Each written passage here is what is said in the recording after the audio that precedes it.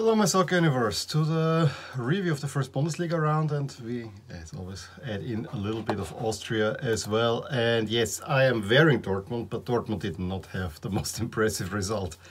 That was reserved to the reigning champions, Bayern Munich. To be honest, I said it last week. Um, Bayern is probably gonna roll over Schalke. That it will be eight 0 No, I did not expect that. I thought that Schalke will uh, shut up shop, but that's exactly what they didn't do. Uh, they want to be a nicely playing side. They want to play out from the back, and then uh, Bayern is just rolling over them. Uh, you would expect a 3 0 down at the half. I mean, already with the second goal from Goretzka, more or less broke them. Gnabry opened the scoring. Lewandowski with a bit of a penalty. At 3 0, you gotta play with uh, 11 men deep. No, they continued, continued, and yeah, Bayern had fun with Gnabry, Müller, Sané uh, scoring for fun. I think uh, the um, uh, Müller goal was uh, the nice one. It was a really fast counter attack, and then even uh, Musiala, who had never heard before, gets in on the action. Gnabry scoring three for first. No, it was the second Gnabry goal. That was the one.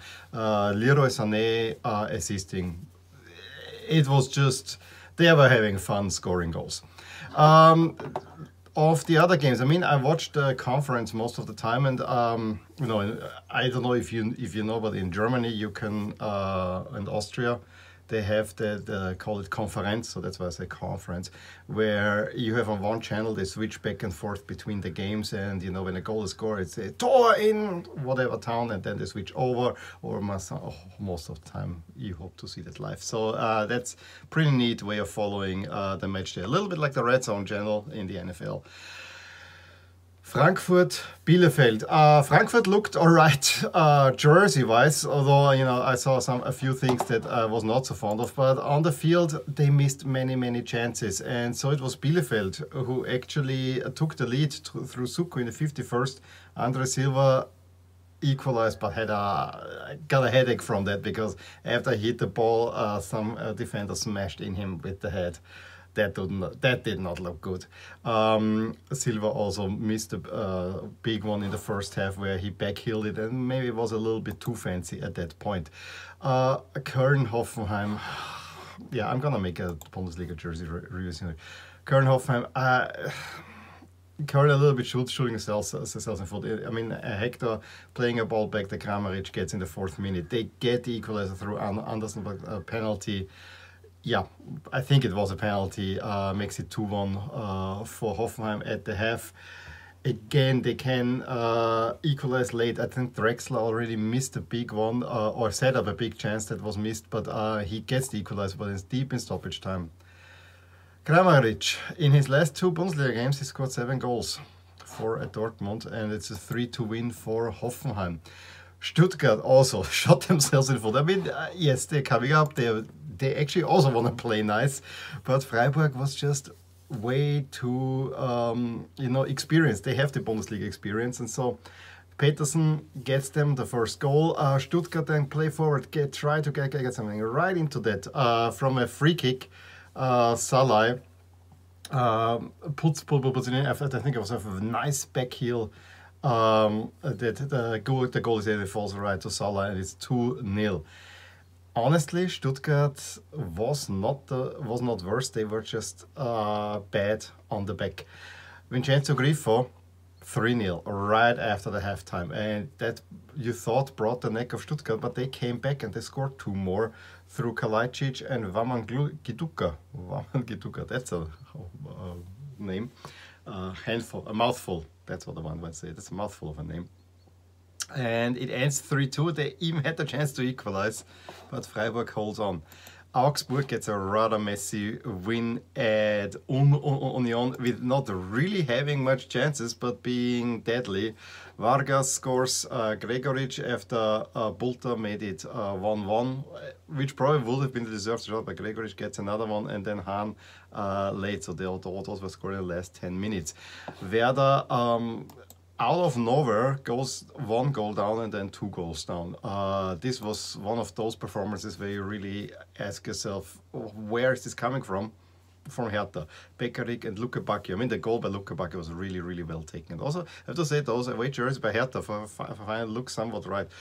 Cunha makes it 3 0, and you know, uh, Werder similar to Stuttgart, you know, if you don't have the luck, you don't have the luck. Selke gets uh, one, one, one back by Cordoba, uh, makes it 4 1 late. And then the big one, Dortmund Gladbach, where Gladbach was in the first half really frustrating Dortmund. It was a rather even game with few chances, and actually, I think the better chance fell to Gladbach. Um, but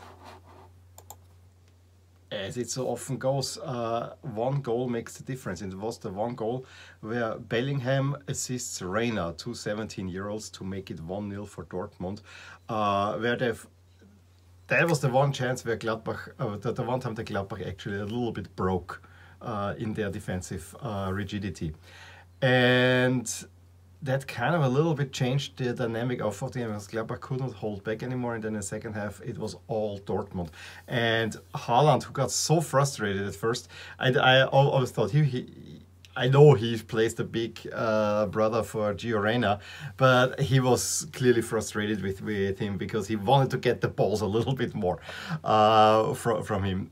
They get a penalty where the trailing leg of Bensebaini gets into um, I think it was Sancho, uh, which then, yeah, you have to say it was a penalty. Uh, Sancho wanted to take it himself, but hands then the ball to Haaland. He said, I want to score, and he gets onto the scoring sheet. And that decided the game. Uh, and then with a great count counter attack against Sancho and Haaland. I mean, the ball came from a corner kick uh, where Sancho gets the ball and uh, Haaland with a sprint uh, storms into the box. It gets perfectly timed to, to him and he makes a great finish to make it 3-0. When Dortmund are rolling and with these young talents in front, they are a really, really, really fun team to watch. Have to see how this will continue, but it was a lot of fun to see Dortmund play, to be honest. Uh, yesterday's games, Leipzig 3-1 over Mainz was the expected uh, win. Uh, Forsberg, Poulsen, uh, made it clear early at uh, 17 and 20 and 21st. Uh, Mateta put one back right after, but then had had made 3-1 and that was that. And then Wolfsburg Le Leverkusen, yeah, was not the greatest game. I actually found it interesting. Wolfsburg played in the darker green, but still with the bright socks. Uh, there were chances there on both sides, but not many. It was a rather uh, boring game. And so with that, the first Bundesliga table, yeah, Bayern. 8-0 up, shall we call it? Shall we call it? Uh, I don't think so yet, but I expect this season Bayern to be a rather comfortable champion.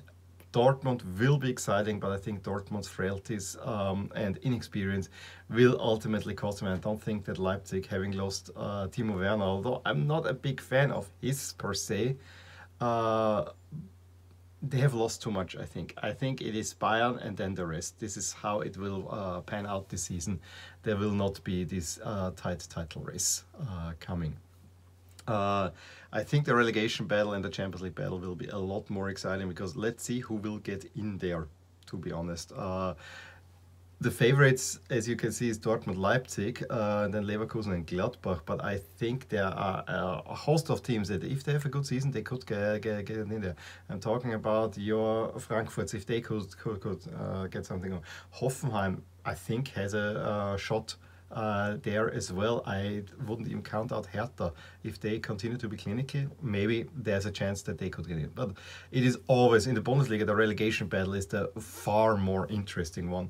And you see there's many teams. Uh, uh, starting from Bielefeld, we have Union Berlin in there, we have Schalke big time in there at the moment. I think Schalke will be might be the big name that goes down which I like Schalke, so um, yeah, I might hold off on the Schalke jersey purchase. As you see, uh, except for Bayern, I have my favorite German teams down there. and they all are probably going to be towards the bottom end of the table, so uh, not too happy about that. Next round. Start out with an interesting one. Hertha against Frankfurt on Friday. Um, I think Leverkusen Leipzig is probably the pick of the bunch. Uh, Schalke Bremen is gonna be one that oh yeah yeah uh, it's not gonna be. I don't want to say it's not gonna, be a good game, but there are not good teams playing there. And yeah, Hoffenheim Bayern. There was something. Yes, there was something all not too long ago. Uh, briefly, Austria. Uh, Salzburg goes a man down and a goal down and turns the game around uh, with 10 men. So um, that basically tells you everything about their um, strength within the league. Um, I thought they had a chance. There, there was a chance at the drop point. No, in the sixth minute they got the red card. Yeah. So in the 33rd it is one nil. All, all the 35th penalty equalize and then it goes 4-1 uh, with goals from Koita Christ and Christen. The one from Koita, he's just uh, no the the one from Daka to make it 2-1. Koita is running, running, running, running, running, running. No one stops him, puts it uh, across the goal, and then uh, was the easiest goal for Daka. Uh, Sturm and Rapid play out a 1-1 draw where um, actually Sturm took the lead. Uh, Rapid couldn't equalize through through Demir, but you know was probably the expected result. It was not true for Tirol against Lask. Lask started the game uh, storming. You thought they will eat uh, Tirol alive, and then, or in the fifth minute, they make a stupid. Uh, they're not careful in defense, and suddenly Fred Fredriksson, who comes from Juve, after Yeboah assists and I was wondering if he has any relations to Anthony Yeboah, uh, makes it 1 0 for Tirol. That was pretty rough. Lask then controls the game, really plays nice to the eye, but uh, on the back, and I, this is unusual because we used to have the best defense over the past two seasons. They're a little bit open. They have chances uh, through Ramftl going wide, uh, but it's apparently through Ra Raguz that gives the equalizer. Then a huge chance before they have to make it 2-1. It's not gonna happen.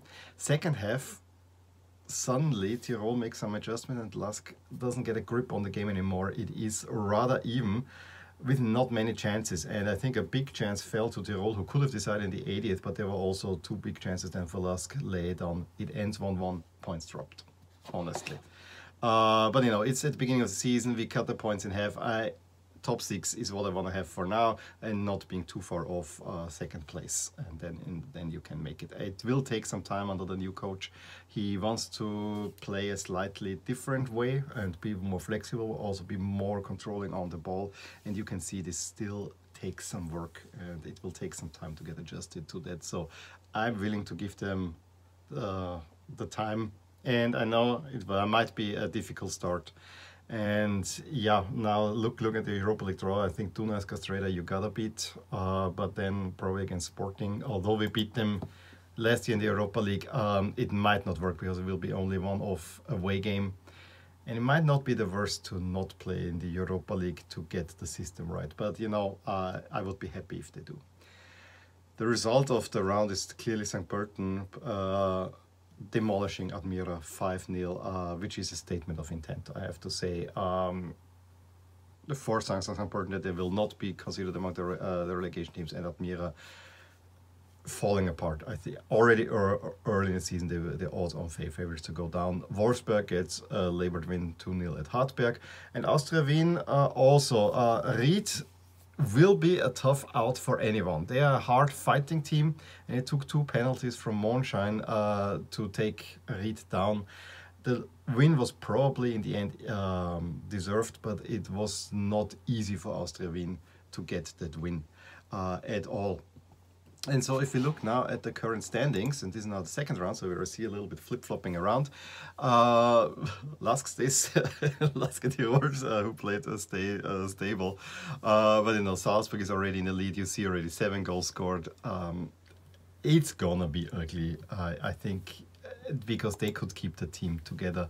Salzburg is a really, really good team, unfortunately, I have to say. Um, I'm curious how everything else will pan out. Um, you would expect that Salzburg, Rapid, Lask, Wolfsberg are going into the top four, so there are two spots left. I think that race will be an interesting one. Um, I hope that it will remain that those four are the big favorites uh, and then the rest uh, plays for it. Uh, if you look at the next round, um, the big one is five o'clock on Sunday, Lask against Wolfsberg, and that's a game where I have I'm a little bit afraid of, to be honest, because that is a game that we lost both home games last season. Now we're, we're playing in a big stadium, and we can we can have some spectators. Although I have to see how this will develop because the situation in Austria is right on the edge. Uh, other interesting games, I think Ried against Salzburg. I want to see how Ried is doing against Salzburg. To, to, to, to, to be honest, I would expect goals between Austria and Admira. That would be the game where Austria Wien really has to show what they were, what they will. And St. Pölten Rapid is an early sleeper. And then there's a Western Derby in Altach in Tirol. Anyway, let me know uh, what you saw from these two leagues. I was actually thinking briefly if I shouldn't add the Eredivisie also now here, but I think for this season I will keep them with Great Britain. But uh, all three leagues tend to end on Sunday in the early afternoon, and that makes for a very nice roundup video. So watch this space. Maybe Eredivisie will come in here too, which also would make a little bit geographic sense. Anyway, let, let me know what you watch from Bundesliga, or if you even can watch Austrian Bundesliga. I would be interesting what you hear from there. Um, give me a thumbs up if you enjoyed uh, this video. Subscribe to my channel if you want to see more, and I will talk to you soon. Bye. Hey there. I hope you enjoyed this video, and if you did, here are some videos and playlists that would be of interest to you too. Also, please consider subscribing to my channel as it will keep you updated with all things that are rotating in my soccer universe. With that, I wish you a wonderful day. Bye.